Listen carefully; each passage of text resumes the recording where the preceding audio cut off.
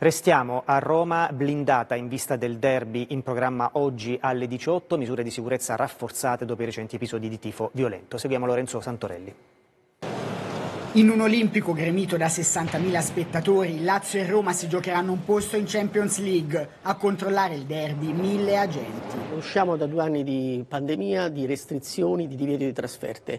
Si è ritornati al sold out negli stadi. Non abbiamo avvisaglie del pericolo di scontri, ma ovviamente il derby richiede sempre la nostra massima attenzione. Rivalità e gemellaggi, campanilismo e politica anche su scala internazionale.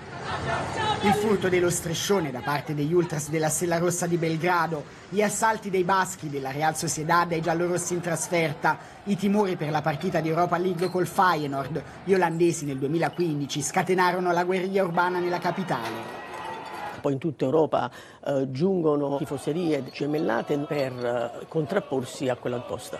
Come a Napoli, gli hooligans dell'Eintracht Francoforte, supportati nei disordini dai bergamaschi, Daspo per i tedeschi identificati, condannato uno dei cinque napoletani arrestati. Oggi possibili incroci pericolosi tra i veronesi diretti a Genova e i partenopei che a Torino tornano in trasferta per la prima volta dallo scorso 8 gennaio, il giorno degli scontri con i romanisti in autostrada.